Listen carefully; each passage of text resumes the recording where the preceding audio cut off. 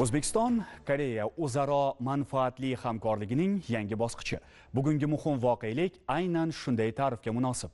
O'zbekiston respublikasi prezidenti shavkat mirziyoyev bugun koreya respublikasi prezidenti mun jje in bilan video anjuman shaklida uchrashuv o'tkazdi.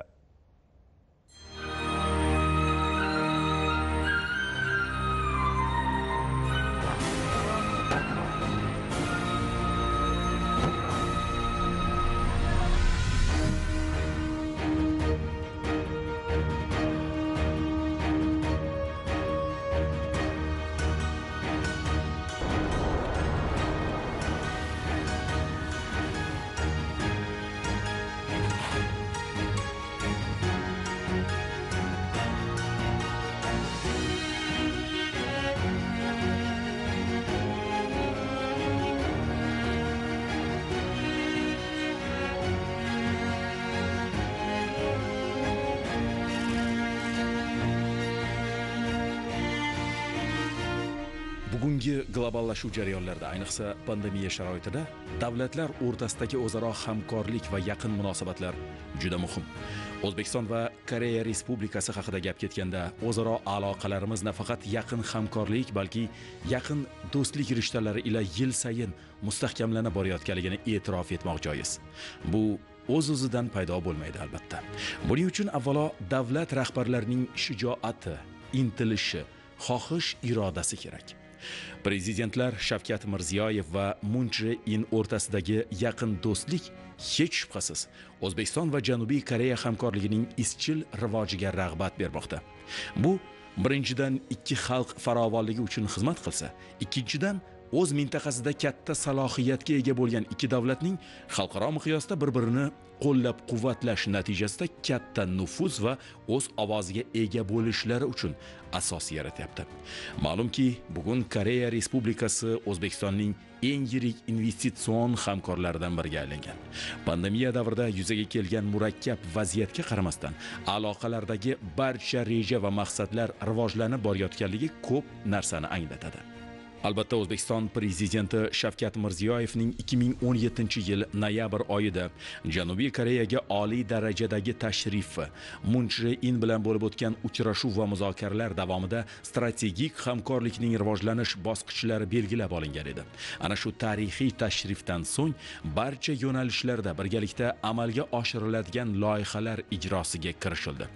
Yengil sanoat avtomobilsozlik yuqori axborot texnologiyalari tibbiyot ilm fan kabi sohalarda hamkorlik natijalari bo'y ko'rsatishni boshladi. 2019 yil aprel oyida koreya respublikasi prezidenti mun Chje inning o'zbekistonga tashrifi va shavkat mirziyoyev bilan bo'lib o'tgan uchrashuvlarda va istiqbolda birgalikdagi amalga oshiriladigan maqsadli ishlar rejalari aniq ravshan belgilab olingan edi. Albatta prezidentlarning keyingi uchrashuvlari pandemiya tufayli onlayn muloqot tarzida o'tkazilmoqda. Uning birinchisi o'tgan yilning 30 oktyabr kuni bo'lib o'tgan edi. Ya'ni davlatimiz rahbari mun in taklifiga binoan seul shahrida video anjuman shaklida shimoliy iqtisodiy hamkorlik ikkinchi xalqaro forumida onlayn tarzda ishtirok etib iqtisodiyot yo'nalishlarida bir qator tashabbuslarni ilgari surgan edi. Dunyodagi og'ir vaziyatga qaramasdan iqtisodiy natijadorlikka erishish yo'lidagi harakatlar o'xshash va hamohang ekanligi mazkur forumda ham yaqqol namoyon bo'ldi. O'zbekiston prezidentining takliflari janubiy koreya prezidenti ishbilarmon doira vakillari tomonidan qo'llab quvvatlangan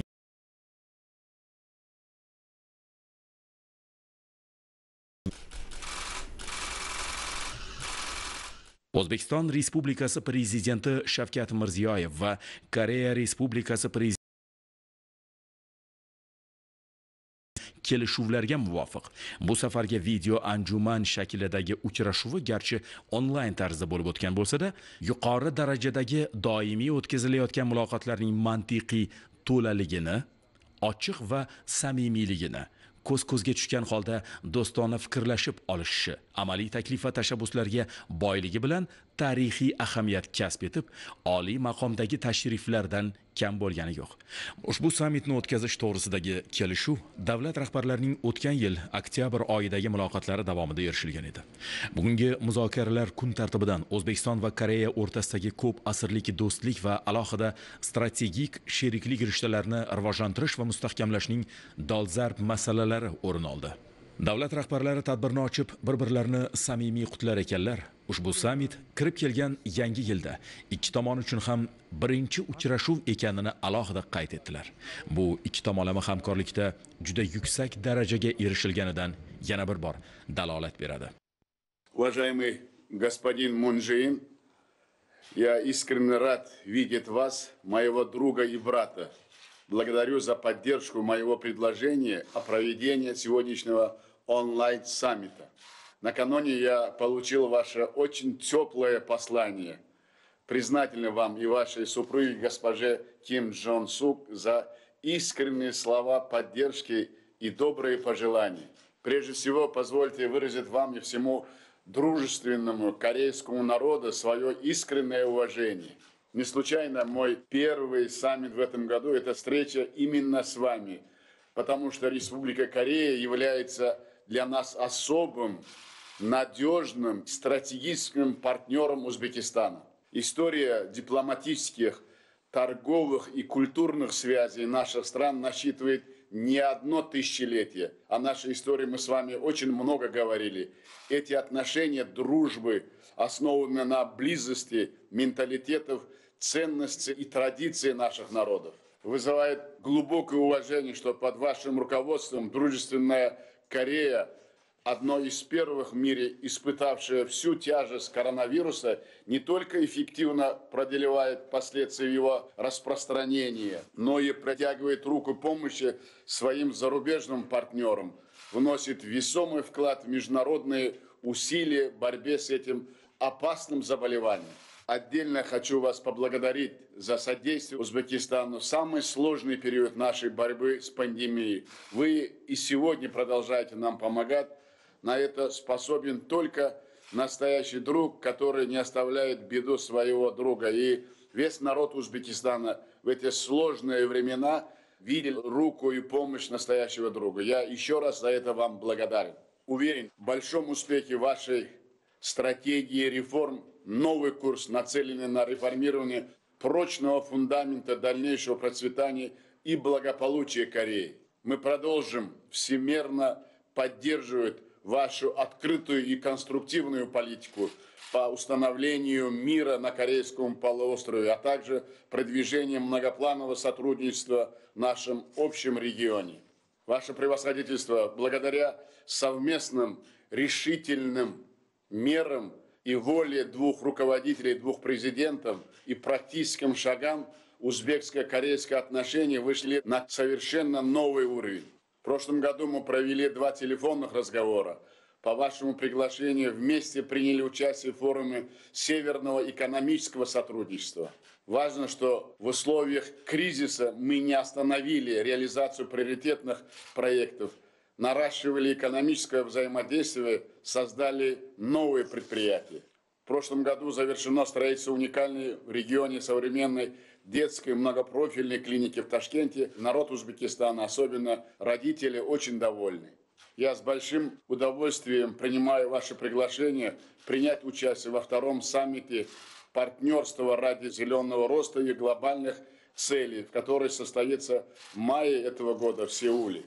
Сегодня нам предстоит сверить часы и определить новые точки роста сотрудничества между нашими странами. 예, 감사합니다. 아, 미르지 OF 대통령님. muhtaram janobi prezident bugungi sammit davlatlarimiz rahbarlarining joriy yildagi ilk uchrashuvi sanaladi u alohida ahamiyatga ega. bu yil o'zbekiston respublikasining mustaqilligiga 30 yil to'ladi. Janob prezident siz va o'zbekiston xalqiga qardosh koreya respublikasi xalqi nomidan o'z ehtiromimni bildiraman mustaqillikni qo'lga kiritganidan bir yil o'tib 1992 yilda mamlakatlarimiz o'rtasida diplomatik aloqalar o'rnatildi. Aynan ertaga diplomatik munosabatlarimiz o'rnatilganligiga 29 yil to'ladi. Janob prezident 2019 yilda biz siz bilan ikki tomonlama munosabatlarni alohida strategik sheriklik maqomiga olib chiqdik. 코로나 상황에서 양국의 우정은 더 깊어졌습니다. covid-19 sharoitida bizning do'stligimiz yanada mustahkamlandi biz vaqtinchalik aviareyslarni yo'lga qo'yish orqali biznes aloqalarimizni qo'llab-quvvatladik ikki mamlakat sog'liqni saqlash vazirliklari o'rtasidagi hamkorlik aloqalarini yo'lga qo'ydik tibbiyot xodimlari jo'natildi koronavirus infeksiyasi tarqalganidan so'ng ilk bor o'tgan yilning iyul oyida koreyaga yuqori martabali delegatsiya tashrif buyurdi bu esa covid-19 ga qarshi kurashda ikki mamlakatning kuchlarini birlashtirish va o'zaro rivojlantirishda muhim bosqich bo'ldi. Janob prezident siz o'zingizning yangi yil murojaatnomangizda ta'kidlab o'tganingiz. Yoshlarni qo'llab-quvvatlash fuqarolar salomatligini mustahkamlash mintaqani muvozanatli rivojlantirish koreya tomonidan ilgari surilgan inklyuziv tiklanish va yutuq siyosati bilan mushtarak maqsadga ega. Mamlakatlarimizning rivojlanish yo'lidagi maqsadlari hamkorligimizning kengligi kabi o'zaro hamohangdir. o'zbekiston ipak yo'li markazida bo'lib sharq va g'arb tamaddunlari o'rtasidagi aloqalarni bog'lab turadi. Ushbu mamlakat 180 ming etnik koreyslarning boshini qovushtirib ularga boshpana bergani uchun minnatdormiz. Shuningdek biz o'zbekistonni hukumatimizning yangi shimoliy siyosatidagi eng muhim sherik deb bilamiz. Ishonchim komilki agar biz tajribalarimiz bilan o'rtoqlashsak va o'zaro farovonlik hamda universal birlashish ruhiga asoslangan holda hamkorlikni davom ettirsak mamlakatlarimiz tezda odatiy kundalik hayotiga qaytadi va birgalikda yutuqqa erishadi. Bugungi sammit post koronavirus davrida o'zaro hamkorlik hamkorlik va mamlakatlarimizning birgalikdagi farovonligi yo'lidagi yangi muhim voqea bo'ladi. umid qilamanki mamlakatlarimiz xalqlari ushbu umidni his qilishadi. Janob prezident do'stim qadrdonim ishonchim komil yaqin munosabatlarimizni istiqbolda ham izchil davom ettiramiz. ta'kidlangan edik ko'p qirrali o'zbekiston koreya munosabatlari pandemiyaga qaramasdan izchil rivojlanishda davom etdi. O'tgan yili davlat rahbarlari telefon orqali ikki marta muloqot qildilar hamda shimoliy iqtisodiy hamkorlik ikkinchi xalqaro forumida birgalikda ishtirok etdilar. Murakkab sharoitlarda yirik investitsiya va savdo loyihalarining amalga oshirilishi ta'minlandi. Yangi kooperatsiya obyektlari ishga tushirildi. Janubiy koreyalik sheriklarning ko'magi va ishtirokida toshkent shahrida tashkil etilgan mintaqamiz uchun noyob bo'lgan zamonaviy bolalar ko'p tarmoqli tibbiyot markazi shular jumlasidandir. O'zbekiston prezidenti koreys tomoni yangi koronavirus infeksiyasiga qarshi kurashish borasidagi xalqaro sa'y harakatlarga salmoqli hissa qo'shayotganini yuksak baholadi. Hamda ushbu xavfli kasallikning oldini olish unga chalinganlarni samarali davolash va reabilitatsiya qilishda mamlakatimizga ko'rsatilayotgan katta amaliy ko'mak uchun minnatdorchilik bildirdi. Davlat rahbarlari ikki tomonlama munosabatlar borasida so'z yuritar ekanlar alohida strategik sheriklikni yanada mustahkamlash va hamkorlikni har tomonlama kengaytirish tarafdori ekanliklarini ta'kidladilar. Muntazam siyosiy maslahatlashuvlarni davom ettirish va parlamentlararo almashinuvlarni faollashtirish mamlakatlarimiz o'rtasida diplomatik munosabatlar o'rnatilganining 30 yilligiga bag'ishlangan ikki tomonlama tadbirlar dasturini tayyorlash yuzasidan kelishuvlarga erishildi. Oliy kasb hunar va maktabgacha ta'lim sog'liqni saqlash madaniy meros obyektlarini raqamlashtirish va restavratsiya qilish sohalaridagi hamkorlikning joriy va istiqbolli dasturlari ko'rib chiqildi. Prezidentlar. O'zbekiston hududlarida janubiy koreya yetakchi universitetlarining filiallari va kadrlarni professional tayyorlash bo'yicha qo'shma markazlar soni ortib borayotganini mamnuniyat bilan qayd etdilar. Mamlakatimizning yetakchi oliy ta'lim muassasalarida o'zbek va koreys tillarini o'qitishni kengaytirishga shuningdek koreys diasporasini har tomonlama qo'llab-quvvatlashga alohida e'tibor qaratildi. Iqtisodiy sohada o'zbekiston va koreya hukumatlari va idoralari darajasida yo'lga qo'yilgan samarali ishlar qayd etildi. Prezidentlar investitsiya loyihalarini ilgari surish va yuzaga keladigan masalalarni tezkor hal qilish maqsadida ushbu muloqotlarni davom ettirish topshirig'ini berdilar. Ta'kidlanganidek joriy yilda janubiy koreyalik hamkorlar ishtirokida amalga oshirilayotgan loyihalar doirasida jami 400 million dollargacha investitsiyalarni o'zlashtirish kutilmoqda. Bundan tashqari yuqori texnologik sohalarda shu jumladan energetika neft gaz kimyo va neft kimyo farmatsevtika qayta ishlash sanoati qishloq xo'jaligi infratuzilmani modernizatsiya qilish transport va logistika turizm va ko'plab boshqa tarmoqlarda qiymati jami 3,4 milliard dollardan ziyod bo'lgan 55 ta yangi loyiha tayyorlanmoqda. Ikki tomonlama ustuvor dasturlarni amalga oshirishda iqtisodiy hamkorlikni rivojlantirish fondi edcf va koreya xalqaro hamkorlik agentligi koika bilan samarali sheriklik olib borilayotgani yuksak baholandi. Davlat rahbarlari o'zaro savdo hajmini ko'paytirish muhim ekanini ta'kidladilar. Keyingi yillarda tovar ayirboshlashda rekord ko'rsatkichlarga erishildi.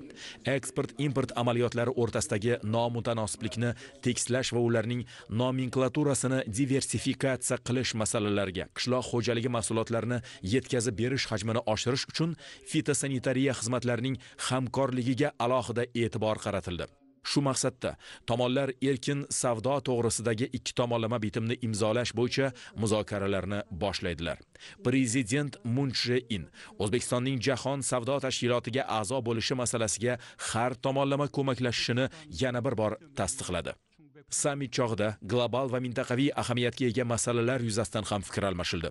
Tomonlar birlashgan millatlar tashkiloti va boshqa xalqaro tuzilmalar doirasida shuningdek yuqori texnologiyalar yashil va raqamli iqtisodiyot sohalaridagi dasturlarni ilgari surish maqsadida koreya respublikasi markaziy osiyo hamkorlik forumi doirasida yaqindan hamkorlikni davom ettiradilar.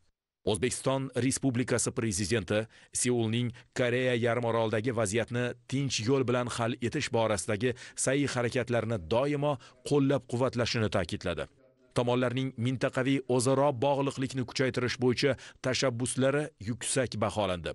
Davlat rahbarlari ekologiya sohasidagi hamkorlik shu jumladan orol bo'yi mintaqasi uchun ko'p sheriklik asosidagi trust fondi faoliyatini qo'llab quvvatlash masalalariga alohida to'xtaldilar. Bo'lajak oliy darajadagi tadbirlar rejasi ko'rib chiqildi. Prezident mun in prezident shavkat mirziyoyevga o'zi uchun qulay bo'lgan vaqtda koreya respublikasiga tashrif bilan kelish to'g'risidagi taklifini tasdiqladi.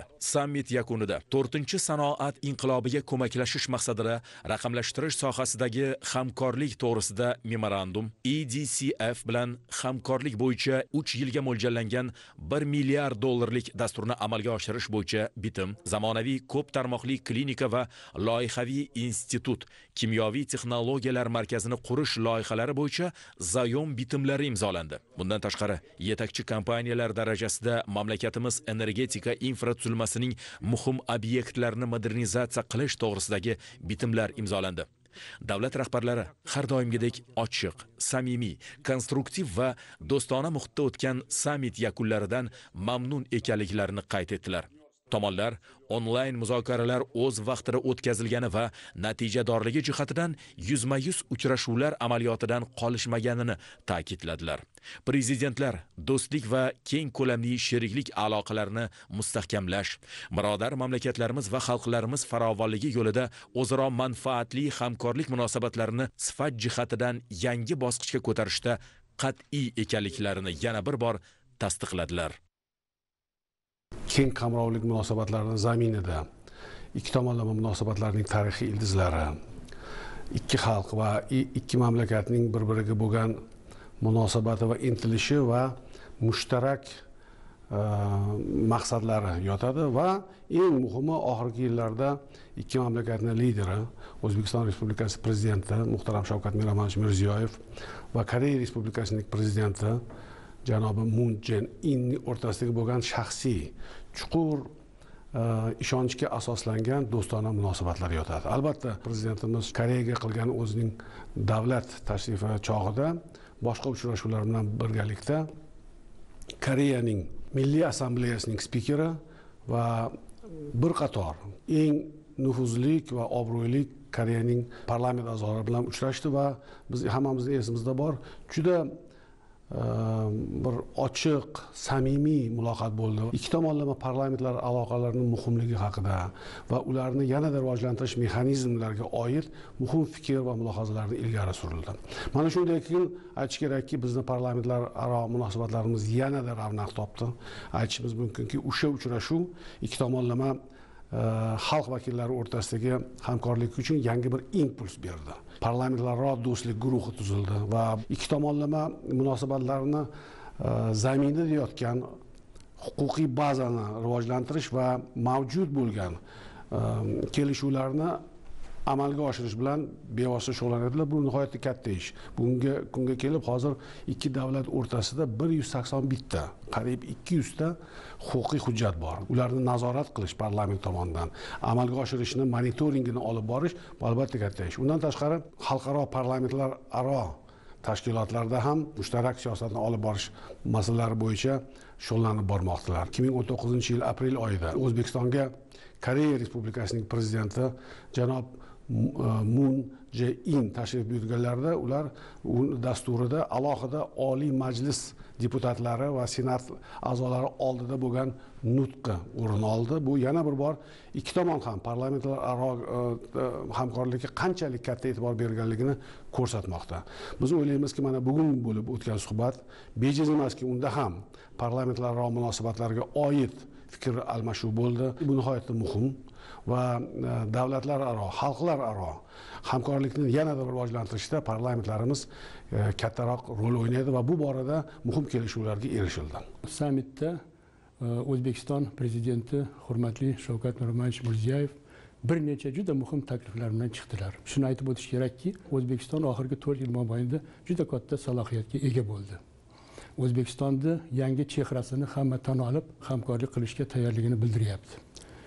Lekin lekin bularni orasida e, koreyani alohida o'ziga yarasha joyi bor. Nafaqat mana shu siyosiy sohada masalan biz iqtisodiy sohada ham tijorat savdo investitsiya madaniy gumanitar sohalarda hattoki harbiy texnikaviy sohalarda ham biz hamkorligimizni olib boryapmiz. Biz bir birimizni xalqaro maydonda qo'llab quvvatlab kelyapmiz o'zbekiston koreya respublikasini yigirma to'rtinchi yilda birlashgan millatlar tashkilotini nodoimiy a'zoligiga qo'llab quvvatlaydi qanchalik hamkorligimiz kuchayganini bir misolni keltirmoqchi edim. Koreya yarim oroli mintaqasida tinchlikni o'rnatishga e, yordam berishga tayyormiz. Bu nimadan iborat? Koreya respublikasi hozir harakat qilyapti shu mintaqada yadro qurolidan xoli zona qurish.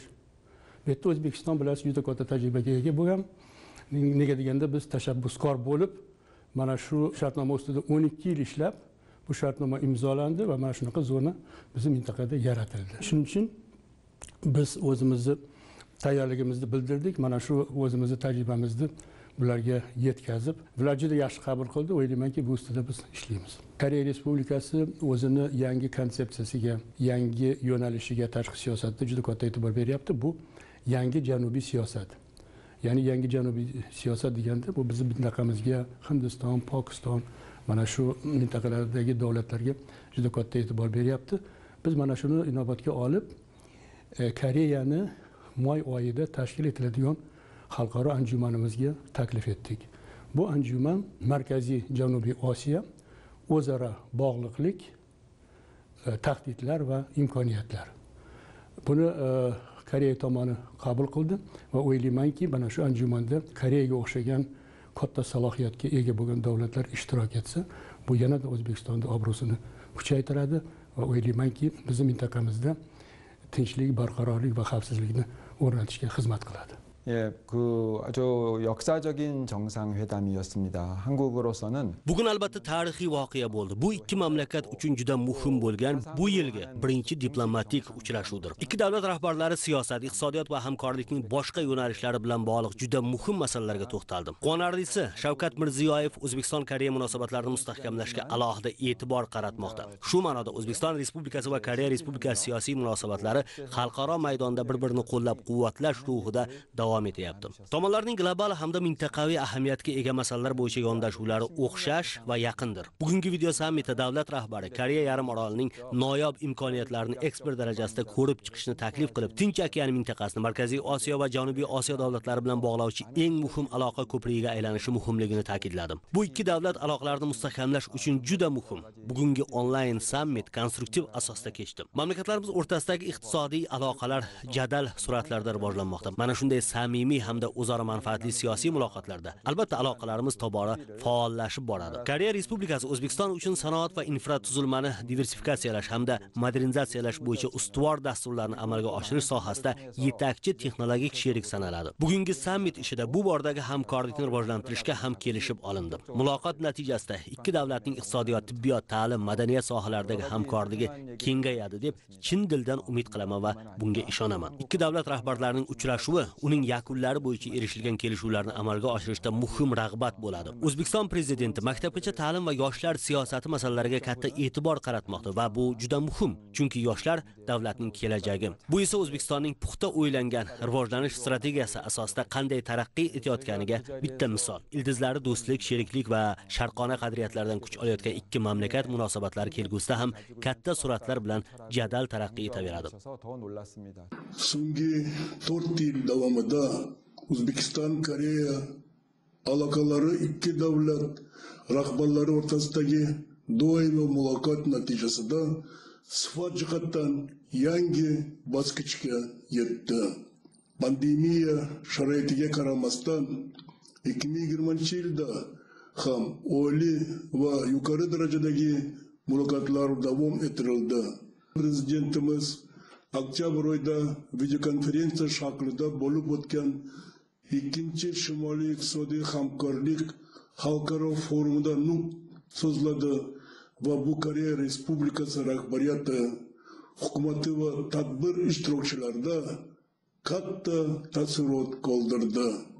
Koronavirus pandemiya boshlagandan keyin koreya respublikasi qabul qilgan birinchi xorijiy delegatsiya bu o'zbekiston delegatsiyasi bo'ldi hozirgi kunda o'zbekistonda koreya respublikasidan investorlar ishtirokida sakkiz yuz yetmish beshta korxona faoliyat ko'rsatmoqda ta'kidlash joizki ikki ming o'n yettinchi yildan shu koreya kapitali ishtirokida to'rt yuz sakson oltita yangi korxona tashkil etildi. Bu barcha korxonalar umumiy sonining ерлік 6 пайызыны ташкил етады.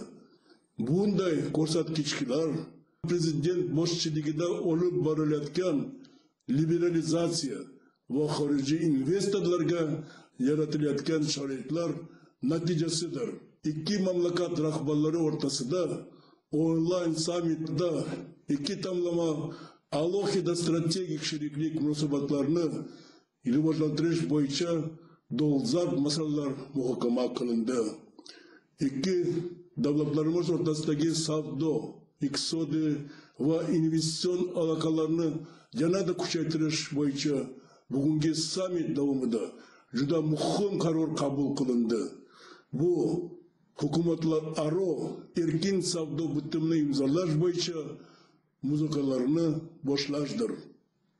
Bundan tashqari investitsiyalar innovatsiyalar raqamli texnologiyalar sanoat va energetika qishloq xo'jaligi sog'liqni saqlash ta'lim va madaniyat sohalarida qator loyiha va dasturlarni amalga oshirish bo'yicha ham aniq kelishuvlarga erishildi onlayn sammit ikki mamlakat tarixida birinchi marotaba o'tkazildi va nihoyatda samarali yakunlandi bu mamlakatlarimiz rahbarlarining o'zaro yaqin va do'stona munosabatlari eng muhimi barcha kelishuvlarni amalga oshirish yo'lidagi qat'iy siyosiy irodasi samarasi deb bilamiz. Сегодня по итогам проведенных переговоров bugun ikki davlat rahbarlarining muloqoti investitsiya hajmini 3 milliard dollardan oshirish bo'yicha vazifa qo'yildi. Bu vazifani amalga oshirish uchun tomonlar erkin savdo kelishuvini amalga oshirishni ma'lum qilishdi. Bu kelishuv ikki mamlakat bozorlariga mahsulot yetkazib berish bilan cheklanib qolmaydi. Birinchi navbatda koreya tomoni o'zbekistonda sanoat industriyasini tezlashtirish to'g'ridan to'g'ri xorijiy investitsiyalarni mamlakatimizga jalb qilish koreyaning eng ilg'or texnologiyalarini tatbiq etishga e'tibor qaratiladi. Ushbu kelishuvlarning yana bir muhim jihati koreyaga o'zbekistondan mahsulotlar eksportini oshirish imkonini beradi. Bugungi kunda koreya tomonidan mamlakatimizdan oziq ovqat mahsulotlarini yetkazib berish bo'yicha amaliy harakatlar boshlandi. Shu bilan birga karantin sohasini modernizatsiya qilish maqsadlari uchun koreya xalqaro hamkorlik agentligi tomonidan 6 million dollar grant mablag'lari ajratilmoqda. Bu mablag'lar karantin sohasining moddiy texnik bazasini rivojlantirishga xizmat qiladi.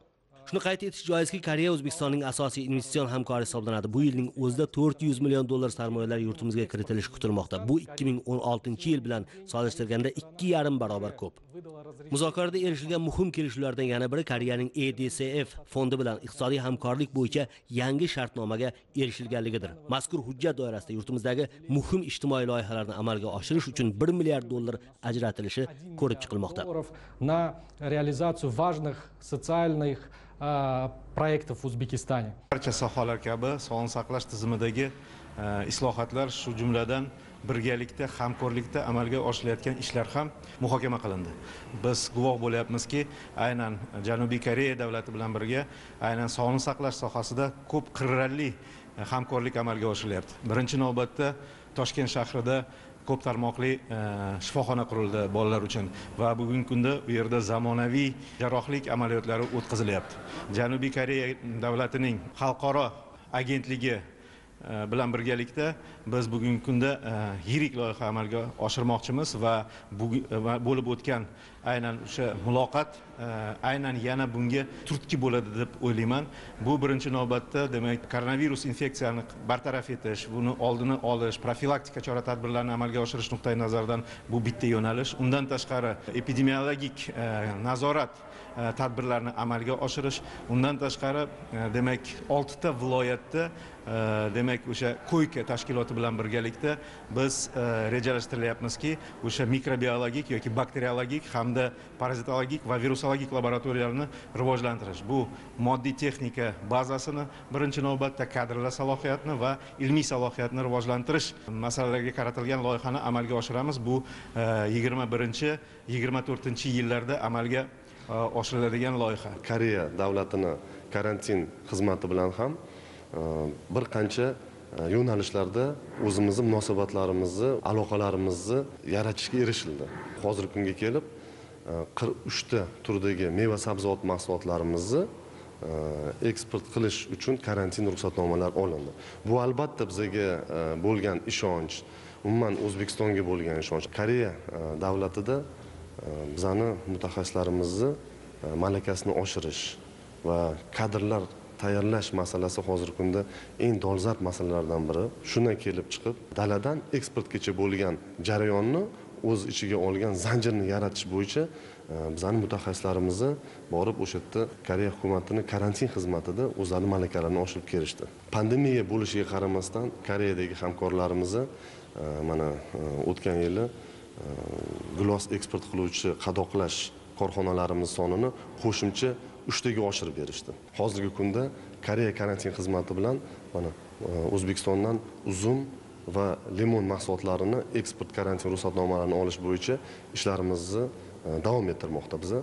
Shu bilan birga ko'ka tashkiloti bilan hamkorlik e, orqali karantin inspeksiya tizimiga xorijiy ya'ni koreyalik konsultantni olib kelish ham rejalashtirilgan. Koreyalik konsultantni kelishi respublikamizdagi e, fitosanitar holatni yanada yaxshilashga respublikamizdagi yetishtirilayotgan meva sabzavot mahsulotlarini karantin talablari asosida eksportga tayyorlash va mahsulotlarimizni yanada eksportini ko'paytirishga yanada keng turdagi mahsulotlarimizga ruxsatnomalar olishga xizmat qiladi. Xulosa qilib aytadigan bo'lsak hurmatli prezidentimizni e, bugungi video muloqot orqali muzokaralari natijasida man ishonchim komil. Bizani koreya hukumatini e, karantin xizmati bilan e, bo'lgan munosabatlarimizni yanada yangi pog'onaga olib chiqishga yanada e, hamkorlikni kuchaytirishga Э, albatta xizmat qiladi. Э, oxirgi yillar davomida э, koreya farmatsevtik korxonalari tomonidan o'zbekiston bozoriga juda ham katta e, e'tibor qaratilyapti hozirgi kunda o'zbekistonda bir nechta koreyalik investorlar tomonidan investitsion loyihalar amalga oshirilyapti. Bundan tashqari o'zbekistonda analogi yo'q e, yangi e, toshkent farmak park klasterini qurishni boshlaganmiz. Ushbu klasterda yangi zamonaviy farmatsevtik universitet tashkil qilinyapti. Ushbu zamonaviy farmatsevtik universitetni moliyalashtirish mablag'lari koreyaning exim bankning idsf kredit liniyasi orqali amalga oshirilyapti. Birinchi bosqichga sakson olti million dollar miqdorida teng bo'lgan. Э, kredit mablag'lari jalb qilinyapti. Ushbu э, kredit mablag'lariga o'zbekistonda umuman olganda o'rta osiyoda analogi yo'q bo'lgan yangi zamonaviy farmatsevtika universiteti tashkil qilinmoqda. Ushbu universitetda bizani sohamizga farmatsevtika uchun bugungi kunda dolzarb bo'lgan biotexnologlar ximiklar laborantlar e, yangi kadrlarni tanlash tayyorlash imkoniyatiga ega bo'lamiz. Bugun o'tkazilgan onlayn sammitda ushbu loyihani e, jadallashtirish bo'yicha kelishuvlarga erishildi. Umuman olganda e, bugungi onlayn sammit natijalari bo'yicha o'zbekistonda ushbu koreya koreyalik hamkorlarimiz bilan birgalikda oshirilayotgan investitsiya loyihalarimizga yangi bir turtki yangi bir impuls bo'ldi desa ham bo'ladi. Koreya va o'zbekiston o'rtasidagi an'anaviy do'stona va har tomonlama munosabatlar koronavirus pandemiyasi sabab dunyoda yuzaga kelgan murakkab vaziyatga qaramay jadallik bilan rivojlanayotgani quvonarli hol albatta. Mamlakatlarimiz rahbarlari o'rtasidagi muloqot o'zaro hamkorlik va strategik sheriklik munosabatlarini chuqurlashtirishda beqiyos ahamiyat kasb etadi deb hisoblayman. Shu o'rinda bugungi onlayn sammit tomonlarning kun tartibidagi dolzarb masalalar yuzasidan fikr almashish imkonini bergan muhim voqelik bo'lganini ta'kidlashni istardim. Ishonchim komilki erishilgan kelishuvlar janubiy koreya va o'zbekiston hamkorligini yanada izchil rivojlanishiga muhim turtki bo'ladi. Shuni ham ta'kidlash kerakki o'zbekiston koreya respublikasining yangi shimoliy siyosatini amalga oshirishda markaziy osiyodagi asosiy hamkorlaridan. Bugun bo'lib o'tgan onlayn sammit mamlakatlarimizning buyuk ipak yo'li davriga borib taqaladigan birodarlik aloqalarini mustahkamlashga bo'lgan intilish va sadoqatini yana bir bor namoyon etdi deb ishonch bilan ayta olamiz.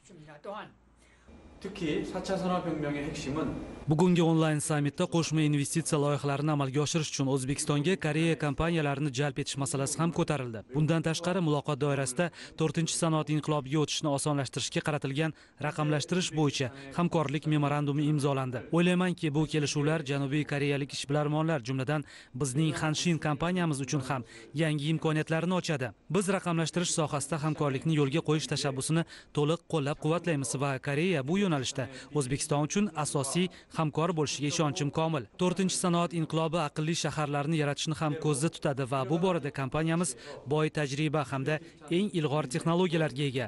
Kompaniyamiz o'zbekiston bozoriga kirish va unda mustahkam o'rin egallashi uchun o'tgan yildan buyon o'zbekistonlik sheriklar bilan investitsiya loyihalarini amalga oshirish bo'yicha faol muzokaralar olib bormoqda. Masalan farg'ona viloyatining qo'qon shahrida barcha zarur infratuzilmaga ega turar joy majmuasini qurish niyatidamiz. O'zbek o'zbekiston prezidenti shavkat mirziyoyev qurilish ishlari sifatini oshirish va binolarni loyihalash ularga xizmat ko'rsatishda xalqaro tajribani keng qo'llashga e'tibor qaratmoqda. Shunga asoslanib hanshin kompaniyasi o'zbekiston respublikasi qurilish vazirligi bilan hamkorlikda zamonaviy loyihalar majmuasini barpo etish bo'yicha ham muzokara olib bormoqda. Biz qurilishning barcha bosqichlarida xalqaro standartlarga muvofiq loyihalash va ishlash imkoniyatiga ega bo'lgan institutni tashkil etishdan manfaatdormiz. Bugungi muhim voqeaga qaytadigan bo'lsak davlatlarimiz prezidentlari o'rtasidagi do'stona muloqotning davomiyligini ta'kidlamoqchiman. Ular pandemiyaga qaramay turli masalalar yuzasidan fikr almashish imkonini topmoqda. 2020 yilda ham mamlakatlarimiz prezidentlari telefon orqali muzokaralar o'tkazib unda savdo investitsiya moliyaviy texnik hamkorlik shuningdek sog'liqni saqlash sohasida yaqin hamkorlik va koronavirus tarqalishiga qarshi birgalikda kurashish masalalari muhokama qilingan edi. Bugungi onlayn sammit janubiy koreya ommaviy axborot vositalarida keng yoritilayotgani ham koreya hukumati o'zbekiston bilan hamkorlik masalasiga alohida ahamiyat berayotganini anglatadi bu esa koreya kompaniyalariga o'zbekistonlik hamkorlar bilan munosabatlarni yanada rivojlantirish va mustahkamlashga ishonch beradi koreyadan o'zbekistonga to'g'ridan to'g'ri sarmoya kiritish hajmini oshirish va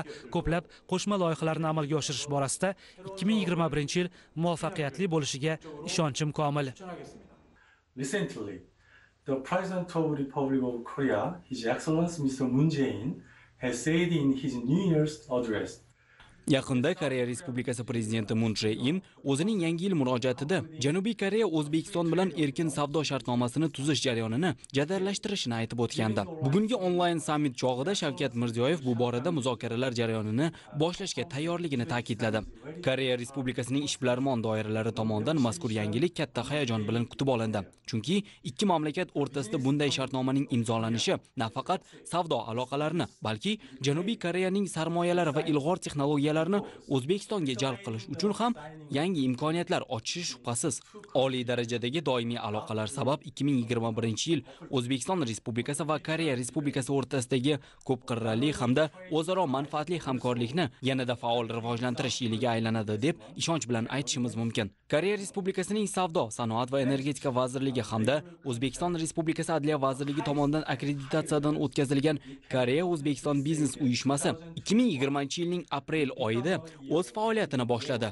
Shu paytgacha bunday tashkilot ikki davlatlar o'rtasida mavjud emas edi. Uyushmaning tashkil etilishi mamlakatlarimiz o'rtasidagi savdo va iqtisodiy aloqalarni yanada taraqqiy etishiga hissa qo'shadi. Covid 19 pandemiyasi keltirib chiqargan murakkab vaziyatga qaramay bugungi kunda uyushmamiz o'zbekistonlik sheriklar bilan qo'shma investitsiya loyihalarini va savdo shartnomalarini amalga oshirishda faol ko'mak berib kelmoqda.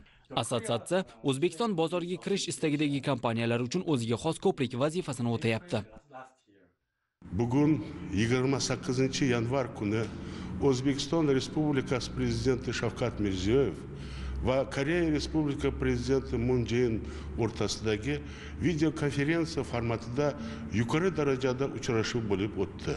O'zbekiston va janubiy koreya prezidentlari shavkat mirziyoyev va mun jein bugungi holatni tahlil qilib siyosiy muloqotni chuqurlashtirish ta'lim va madaniyat sohada aniq loyihalar muhokama qildilar o'zbekiston prezidenti shavkat miromonovich mirziyoyev o'z nutqida bir yuz sakson minglik koreys diasporasi xalqlarimizni bog'ligini ta'kidlab koreya madaniyat va san'at o'yini ochilishi samimiy esladi shuningdek kelgusi uchrashuvda koreya madaniyati va san'at o'yini yanada rivojlanishi bo'yicha aniq takliflarni tayyorlashni taklif qildi onlayn sammit yakunlari bo'yicha raqamli texnologiyalar loyiha faoliyati sog'liqni saqlash va boshqa muhim sohalarda qator hujjatlarni imzolandi. Davlatimiz rahbarini ikki ming o'n yettinchi yilda koreyaga bo'lgan davlat tashriflarida o'n milliarddan oshiq bitim imzolandi. Bunda axborot texnologiya yo'nalishi bo'yicha ta'lim yo'nalishi bo'yicha ikki davlatni axborot texnologiya yo'nalishidagi bir hamkorlik demak e, o'zini e, natijasi bu shu e, toshkent shahridagi inha universitetini ko'rish mumkin. Ikki ming o'n to'qqizinchi yil aprel oyidagi koreya prezidentini o'zbekistonga tashrifida birinchi bo'lib demak toshkent shahridagi inha universitetidan boshlashlari o'ziga yarasha demak tarixiy va ramziy ma'noga ega. Tarixiy bu tashrifdan so'ng talabalarimiz demak o'zbekistonda turib shu koreya respublikasini xalqaro darajadagi diplomini olish imkoniyatiga qo'lga kiritishdi. Ikki davlat rahbarini bugungi muloqotdan so'ng demak toshkent shahridagi inha universiteti mana fevral oyida e, magistratura bosqichi ham yo'lga qo'yilyapti. Bir plyus bir dasturi asosida.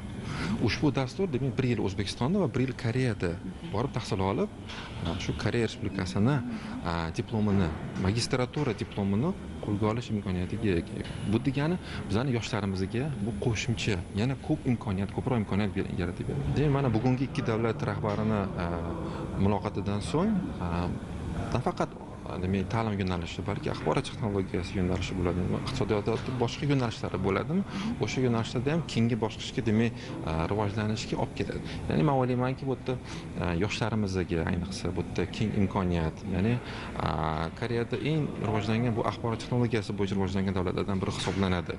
Va u yerdagi o'zbekistondagi mana vakolatxonalari bo'lgan kompaniyalar bor. U yerda demak bizadagi ta'lim olayotgan yoshlarimizni u yerda demak malaka oshirish shu kabi e, dasturlardan o'tish imkoniyatiga ham ega bo'lishadi.